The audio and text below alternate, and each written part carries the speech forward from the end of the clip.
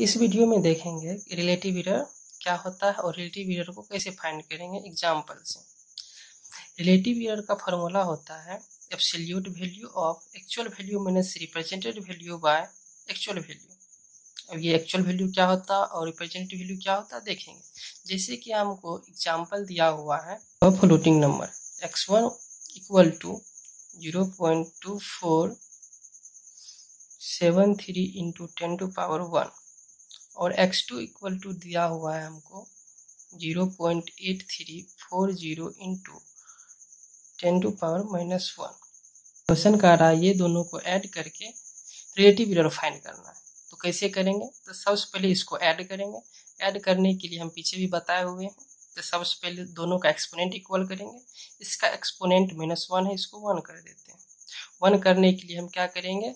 इसको right shift करेंगे। दो पॉइंट ज़ीरो ज़ीरो दो ऐड कर दिए एट थ्री फोर ज़ीरो। अब मेरा क्या हुआ? एक्सपोनेंट पहले माइनस वन था, अब इधर किया प्लस दो हो गया। तो मेरा अब हो जाएगा zero point zero zero eight three four zero into ten to power one हो गया? अब दोनों का क्या? एक्सपोनेंट इसका और इसका इक्वल हो गया। अब दोनों को हम ऐड कर देंगे। ऐड कर रहे हैं दोनों को। एक्स वन मेरा क्या है।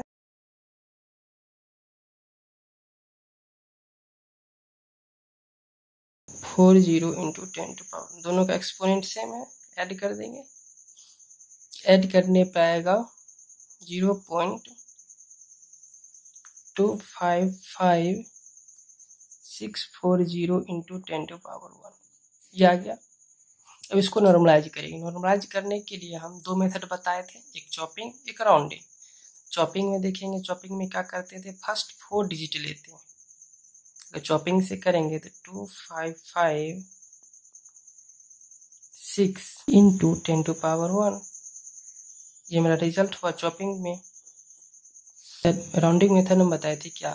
डी फाइव अगर मेरा डी फाइव अगर greater than equal to five होगा, तब हम राउंडिंग यूज़ करेंगे, नहीं तो चॉपिंग यूज़ करेंगे, जो कि यहाँ फॉल्स हो रहा है तो सिर्फ़ हम यहाँ चॉपिंग यूज़ करेंगे। तो चॉपिंग करके चॉपिंग करके हम क्या रिज़ल्ट मेरा आ गया। ये मेरा क्या रिप्रेजेंटेड वैल्यू हो गया, और ये मेरा, और ये जो मेरा रिज़ल्ट आया था, ये मेरा था एक्चुअल वैल्यू अब हम इधर फाइंड करेंगे। ईयर का फॉर्मूला बताए हुए हैं हम, क्या? Actual value minus represented value by actual value अब मेरा एक्चुअल वैल्यू क्या है? एक्चुअल वैल्यू मेरे पास है ये zero point two five five six four zero into ten to power one और माइनस रिप्रेजेंटेड वैल्यू मेरा क्या है? ये। Zero point two five five six into ten to power one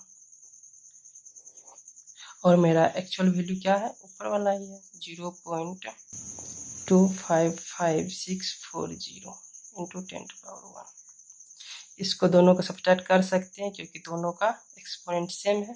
तो सब्ट्रैक्ट करेंगे तो आ जाएगा ये मेरा zero point zero zero zero zero four into ten to power one by zero point two five five six four zero into ten to power one अब ऊपर में क्या करते हैं इसको?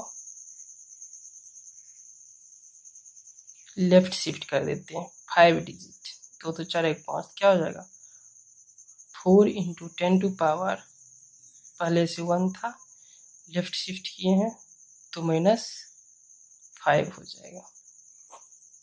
नीचे एक शिफ्ट करना पड़ेगा क्योंकि दस का पावर एक है यहाँ पे। एक शिफ्ट करेंगे क्या? हो जाएगा two point five five six four zero अब इसको डिवाइड करने डिवाइड करने पे आ जाएगा। अप्रोक्स में निकलेगा। One point five six four into ten to power minus one हुआ था तो ये फोर हो गया।